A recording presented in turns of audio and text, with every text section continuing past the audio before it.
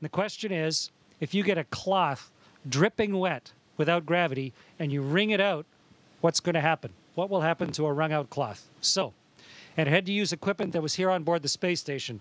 We may have the coolest washcloths ever here on the space station. I'm going to show you. Here's one of our washcloths.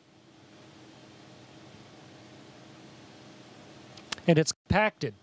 It's put down into this little tiny hockey puck so that uh, it saves space. But when you open up a hockey puck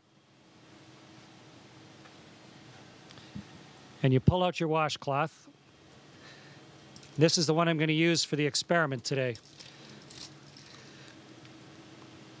And so when you open up your hockey puck and turn it into a washcloth, it was compressed in a great big vise somewhere.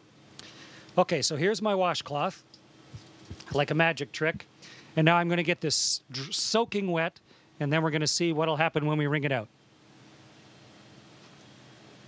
Meredith and Kendra suggested that I dip this in a bag, but bags don't hold water in space. So instead, I filled a water bag. This has drinking water in it.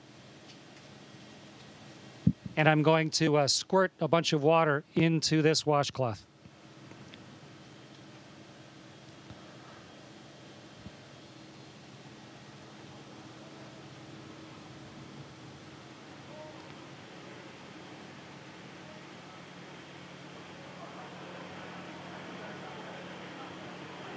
Okay, so here's a soaking wet washcloth.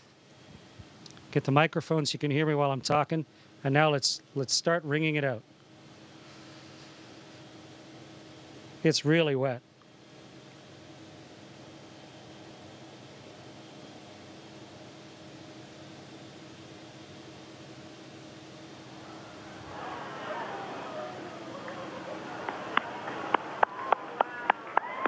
It's becoming a tube of water.